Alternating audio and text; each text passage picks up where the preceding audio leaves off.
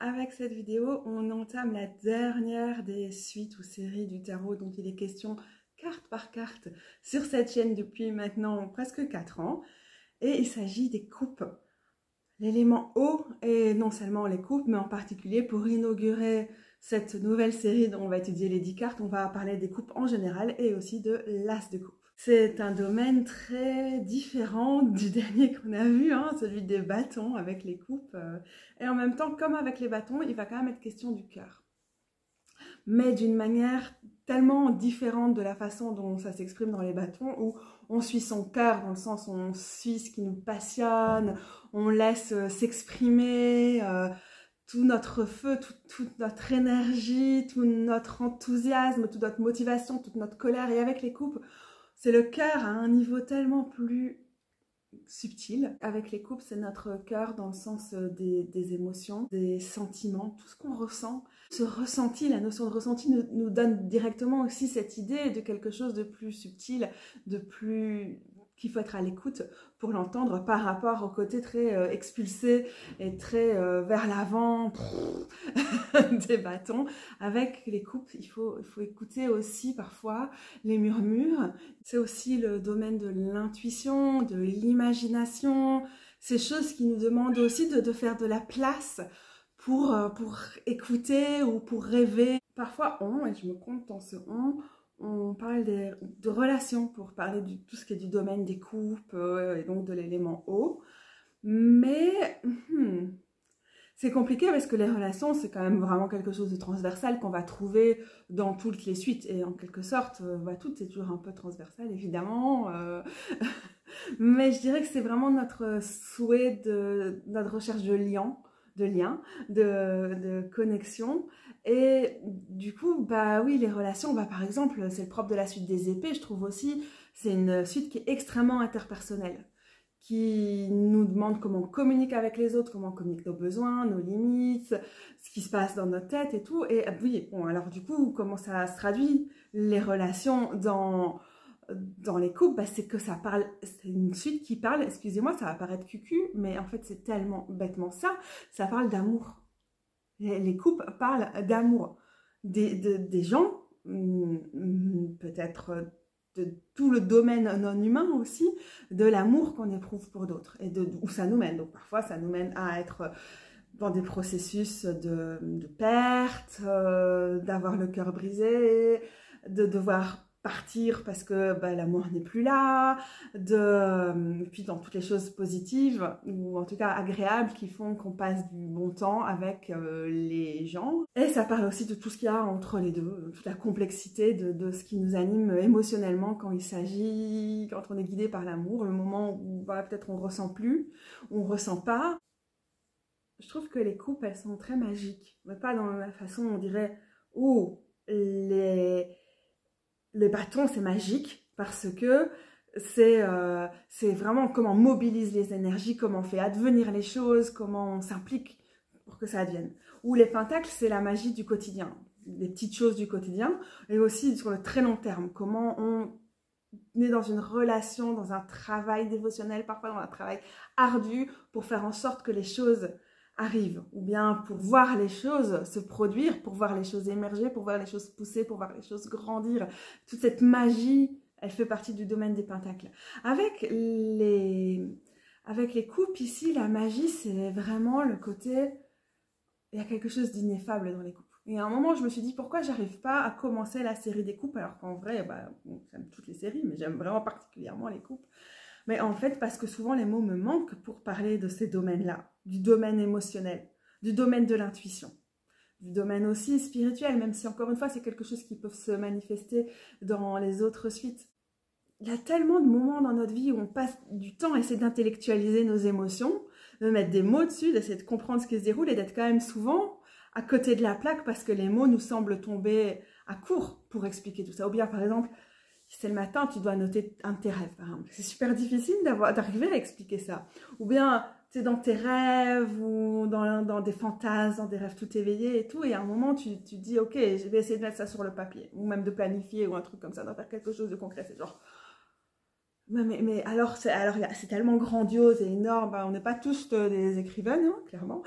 et donc, bah, les mots nous manquent souvent en fait pour parler de tout le domaine des coupes. En tout cas, moi, souvent, c'est le cas. Et je crois que c'est ça qui m'a un peu rendu mal à l'aise là, à l'idée de faire oh, je dois commencer la, la suite des coupes. C'est j'ai un ressenti très fort de c'est quoi la suite des coupes ah, je la sens, je, sens sa fluidité, je sens à quel point elle m'échappe, elle me coule littéralement entre les doigts, à quel point c'est difficile de, la capturer.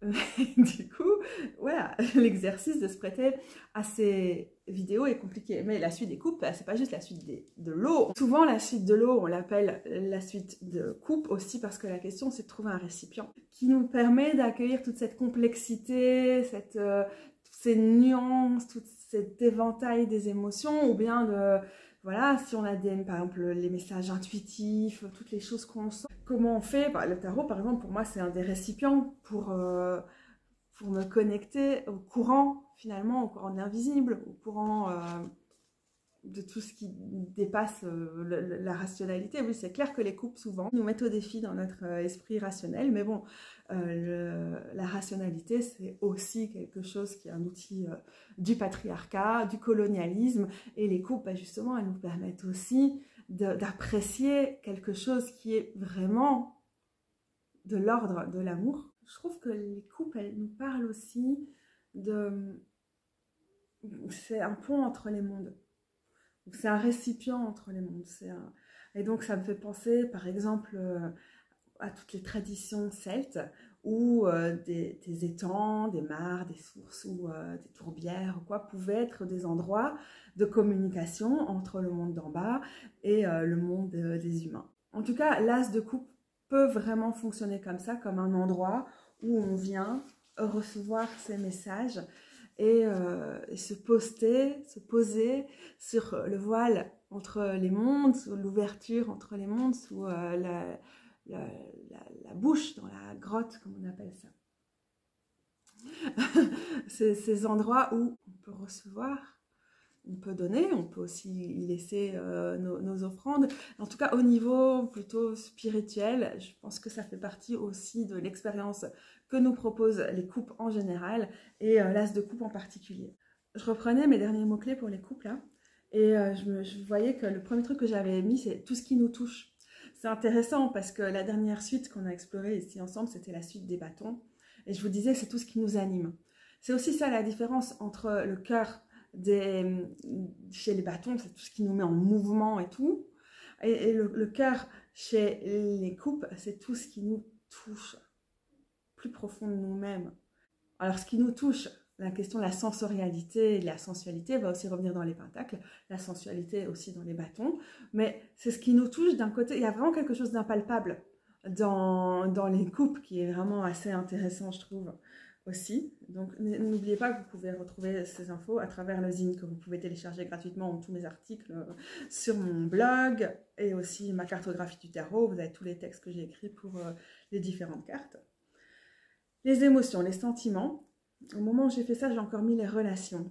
Mais euh, c'est vrai qu'entre-temps, je réfléchissais, l'amour, c'est pas mal.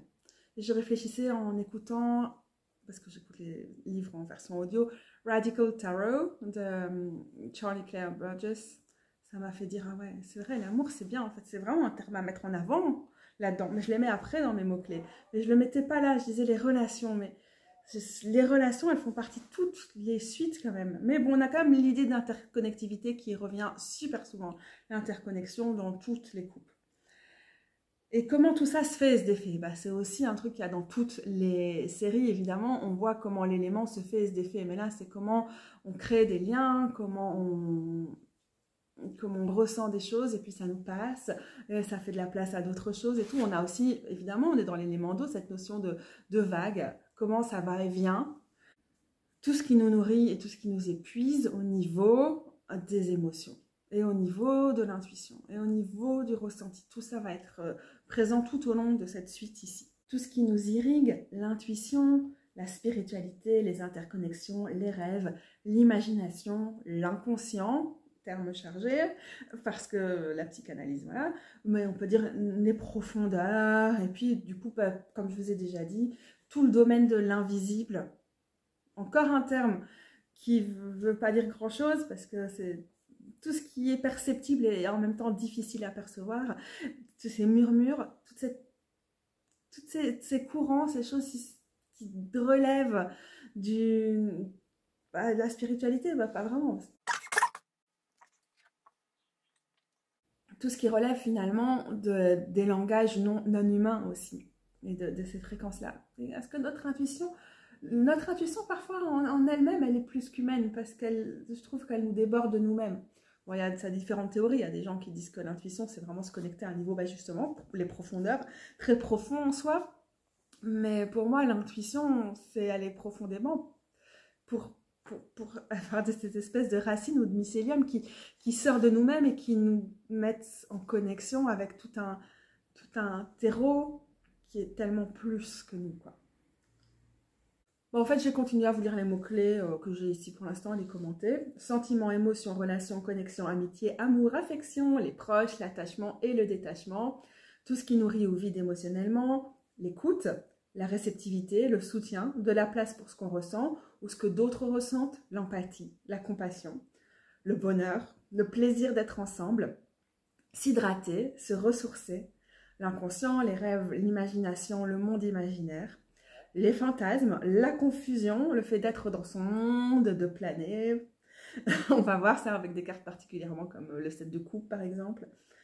Le fait de cultiver son univers intérieur, la spiritualité, la relation à l'invisible, l'émerveillement, le sacré ou la sacralisation, le processus de, décider que certaines choses seraient sacrées, ou bien le fait de trouver euh, aussi de, voilà, parce que c'est une binarisation de penser le sacré contre le profane. Mais donc la sacralisation, c'était aussi cet émerveillement qui nous fait voir, percevoir certaines choses comme sacrées ou leur donner ce statut en tout cas.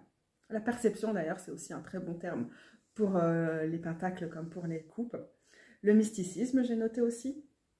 L'harmonie, la tendresse, la douceur, le soin, le réconfort, l'épanouissement, les souhaits, je repensais, et je repensais en particulièrement au 6 de couple là tout à l'heure, une carte que j'aime beaucoup, la gentillesse. Non mais parce qu'il y a comme ça pas mal de choses qui font très cucu quand on parle des couples. Tu sais, quand, quand on dit de quelqu'un, ah cette personne est vraiment gentille, mais qu'en fait du coup c'est une critique. C'est comme parfois on a du mal avec le mot amour parce que c'est tellement, genre, ouais mais la complexité, le mental, le bla. Ah ouais non mais, juste de l'amour en fait c'est déjà vraiment un, un, remède, une solution, une construction, quelque chose de tellement fort par rapport à plein de choses. Et du coup, je trouve que la, gentillesse, quelque chose qui vient du fond du cœur et qui est authentique qui est un don ou qui est quelque chose qu'on reçoit avec tellement de... Voilà. Encore une fois, les mots vont me manquer super souvent. Pour parler des couples, ça va être, ça être un sacré défi. Hein. Nostalgie, souvenir, la tristesse, le deuil, la solitude, l'isolement, l'insatisfaction, le rapport aux autres. Et bah, évidemment, hein, euh, c'est plein de facettes.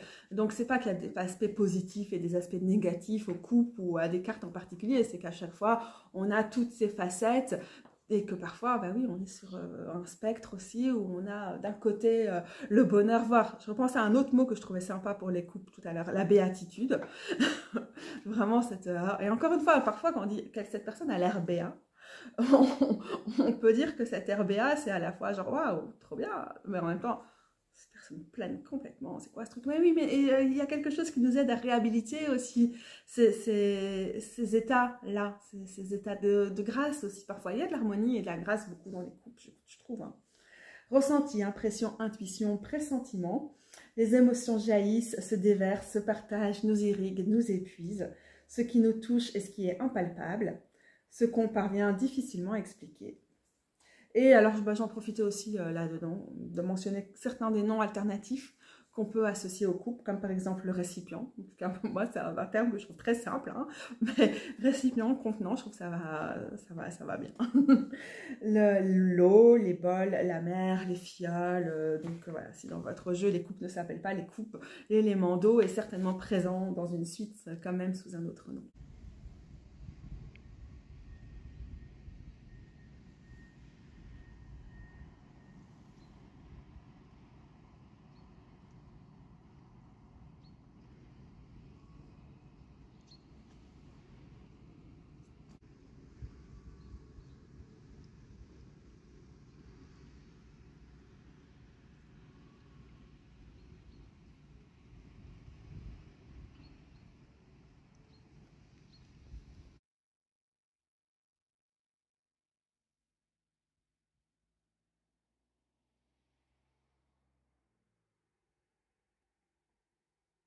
Qui m'a plus donné envie de me remettre à faire les vidéos sur les coupes, c'est que récemment, on était en alerte crue en bonne partie de la Belgique. On voyait nos cours d'eau, que ce soit les, fossés ou les rivières ou les fleuves qui, qui montaient tellement dangereusement. Il y a eu des inondations, mais c'était relativement peu grave par rapport à ce que ça aurait pu être. Mais c'était quand même vraiment très impressionnant. Et ce côté impressionnant des crues, ça m'a vraiment donné envie de, me plonger dans les coupes. Et alors, ça me, ça me travaillait vraiment super fort. Donc, je rêvais la, nuit hein, de ce niveau des eaux qui montent et tout. Ça me fait penser aussi euh, quelque chose qui peut être intéressant par rapport notamment à l'as de coupe. Je pense qu'il y a parfois ce, genre de, de, facettes aussi. Quand j'étais euh, jeune, que je, je, suivais une thérapie euh, jungienne. Voilà, comme ça vous savez, quand je critique les Jungiens, je ne le fais pas sans expérience. Mais bon, bref, il y a aussi des choses très chouettes. Et dans l'analyse de mes, de mes rêves, avec le temps, j'observais souvent que quand je rêvais euh, d'inondations, d'eau qui déborde, et souvent d'inondations de cours d'eau comme ça, ou genre la mer en mode tsunami et tout, souvent c'était le truc que c'était un signe annonciateur que probablement sous la surface, ça commençait à monter, à monter. Moi, je le percevais peut-être pas encore tout à fait consciemment, mais en fait, j'allais à un moment être complètement submergée par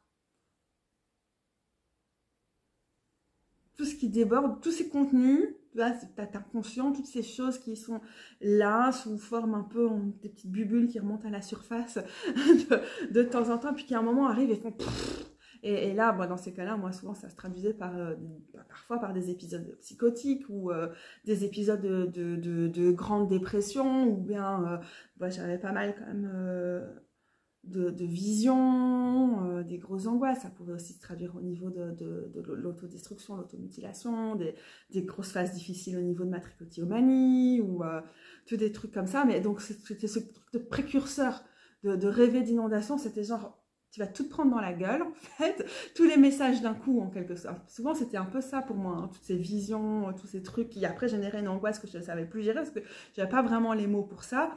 C'était aussi ça, c'était tout arrive d'un coup. Euh, j'ai l'impression, alors ça peut être, ça pouvait être des intuitions très euh, pertinentes ou comme ça pouvait être des trucs genre. Mais à un moment, euh, voilà, hein, la, le couvercle ne va plus tenir sur la casserole et tout s'échappe d'un coup. L'eau est comme ça et, cette eau-là, c'était vraiment une, pour moi, là, une eau qui me rendait vraiment inapte aux, relations parce que, parce que j'étais dans, dans, mon monde, un monde que je n'avais pas toujours souhaité, mais que ce monde-là allait prendre le dessus sur, euh, sur quasiment toutes mes autres euh, préoccupations. Et le fait de faire mes études ou de travailler ou d'autres choses, et j'allais être euh, complètement happée par ça, ce qui pouvait se manifester dans parfois j'avais une personnification de certains, comme ça, certains aspects de moi ou certains trucs, je sais pas dans quelle, dans quelle mesure c'était euh, c'était réel ou pas, mais qui pouvaient me poursuivre ou me, me, harceler, vraiment des parties de moi qui étaient, voilà, qui allaient me pousser à me détruire ou voilà, j'ai beaucoup de voilà quand j'essaie d'exprimer des choses comme ça. J'étais suicidaire, donc euh, oui, encore un voilà. Quelque chose d'assez oppressant finalement, quoi. Ça peut aussi être euh, au niveau des trucs qui sont des triggers, hein, comme on dit quand on pense euh, post-traumatique, et donc les petites choses qui arrivent, c'est paf Et en même temps, ça fait aussi pareil, t'as l'eau qui sort de on ne sait pas où, t'as fait paf sur un tuyau, mais d'un coup la suite, elle est comme ça, et t'as tout qui revient, tout. Parfois, l'eau, l'as de coupe, mais aussi les autres manifestations dans les cartes de coupe, ça peut être ça aussi. Je trouve que c'est aussi euh, Peut-être parce que j'étais en mode l'eau c'est subtil, c'est délicat, faut être à l'écoute. Non, en fait, parfois l'eau c'est juste aussi. Tiens, prends-toi tes profondeurs dans la gueule et toutes les profondeurs. Et voilà, pour des personnes, euh, bah, si vous êtes là, vous suivez une chaîne de tarot, vous pouvez aussi potentiellement être des personnes qui sont euh, euh, très intuitives et ça peut être des moments où on a l'impression de tout capter, comme ça, d'être une éponge. Au niveau de l'empathie, ça peut être de capter tout le stress, toutes les émotions, tout ce que ressentent les autres, qu'à un moment, ça va juste déborder partout de nous-mêmes, quoi, et, et qu'on n'arrive pas à contenir. Hein. C'est toujours un peu cette question hein, du, contenant, du récipient versus euh, la force du courant, je trouve qu'il est quand même aussi, qui nous est aussi proposé par l'as de coupe. Et, mais voilà, ça peut aussi être euh, au niveau des personnes qui sont extrêmement intuitives et qui, euh, qui, qui, reçoivent des flashs ou des informations qu'elles le souhaitent ou non. Et l'as de coupe, c'est le début quelque chose au niveau de tous les domaines dont on a parlé, dont peuvent traiter les coupes.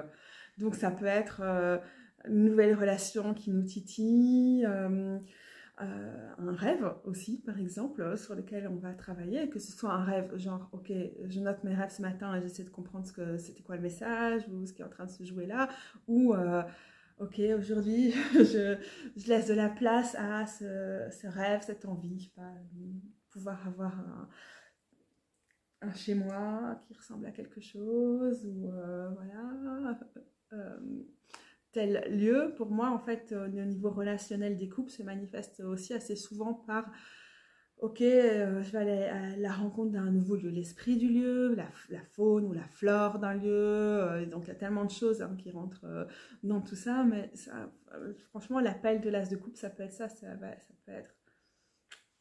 C'est le moment d'aller découvrir un nouvel endroit, et, voir comment ça match entre nous. Parce que les As, euh, c'est quand même assez souvent des commencements. Mais voilà, il y a, l'appel, il y a l'invitation, il y a le message, il y a le euh, vas-tu, euh, voilà, hein, comme dans le truc un peu typique, vas-tu saisir cette coupe? Et puis il y a la, place qu'on lui fait au final. Est-ce que, bah, comme ici, on va laisser flotter tout ce qui rentre et qu'elle va faire une espèce d'office de, fontaine? Alors ok, euh, voilà, la rencontre ici, c'est peut-être l'oiseau qui vient s'y abreuver, mais est-ce que si l'eau dégouline, dans quoi elle va? Qu'est-ce qu'elle nourrit? Donc évidemment, bah, c'est toujours la question de qu'est-ce qu'on en fait? De, ces messages. vraiment, oui, quelle place, quel, quel récipient peut-être on fait pour, euh, pour l'invitation du domaine émotionnel ou intuitif ou euh, tout ce dont je vous ai parlé par rapport au couple. Et est-ce qu'on veut répondre à cette invitation Et si oui, comment Ou est-ce qu'on veut juste, euh, et c'est tout à fait une possibilité, soit quelque être à, l'écoute de ça Donc, est-ce qu'il y a quelque chose qui va vraiment commencer ou pas? Parfois, avec, avec les, as, on est un peu entre les deux. Parce que, en plus, on voit ici, particulièrement ici, avec la carte dans le tarot of the Holy Spectrum, c'est aussi cette question, c'est la spirale qui se manifeste dans la coupe. Et donc, bah, tout est toujours en changement et tout est possible, mais tout peut passer très très vite finalement. Et c'est pas, pas plus mal. Donc, c'est aussi euh, cette petite chose qu'on capte à un moment. Et est-ce qu'on va interagir avec elle Est-ce qu'on va établir une relation ou pas? Pour moi, le plus souvent, ça se traduit vraiment par des expériences de type euh, relationnel, mais spirituel, relationnel avec le plus qu'humain.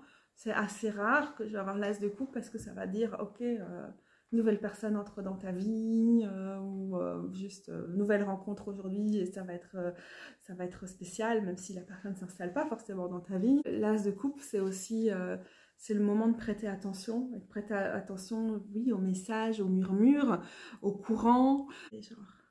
je vais à la source et je dépose mon récipient et puis j'attends de le remplir, je goûte lentement J'essaie de savoir c'est quoi, c'est quoi la saveur de ces émotions. L'invitation de l'as de coupe, ça peut aussi être une invitation à définir ce qu'on qu'on ressent ou une invitation à se laisser ressentir, à se, se laisser le droit de, ressentir des émotions qu'on n'avait pas ressenties depuis longtemps, des émotions qu'on ne s'autorisait pas à ressentir, et aussi à ressentir sans intellectualiser forcément, sans avoir des mots, sans définir quoi justement, mais juste de pouvoir dire c'est ok pour moi d'être dans le, ressenti commencer un, travail thérapeutique fait complètement partie aussi du domaine des coupes et donc de l'as de coupe.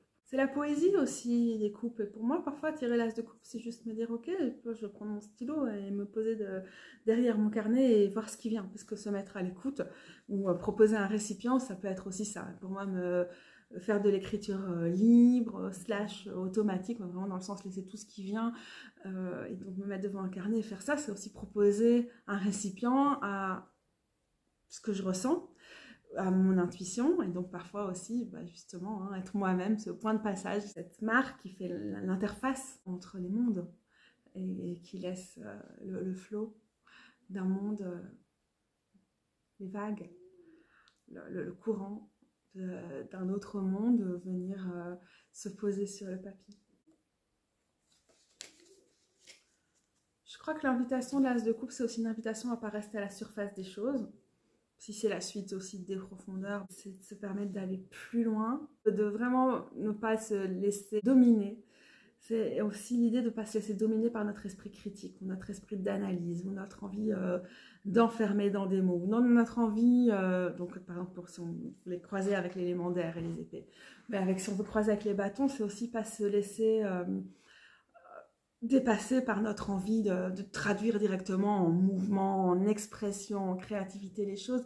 La créativité que nous propose l'as de coupe, c'est quelque chose qui est beaucoup plus lent. Le signe fixe de l'eau en astrologie, c'est les scorpions, donc c'est le signe des profondeurs par excellence, évidemment, et aussi des secrets, mais est-ce que c'est dans, le cas qui nous occupe ici de la suite euh, des couples, le, secret, c'est les secrets. Pas une volonté forcément de garder pour soi. Par exemple, moi j'étais une personne très secrète pendant super longtemps dans ma vie, mais c'est juste que j'avais pas le langage pour exprimer euh, à d'autres euh, humains, humaines, ce que je ressentais. Et donc, euh, les, secrets dans ce côté-là. Ouais, j'ai mon Mars et mon Saturne en scorpion, hein, sinon.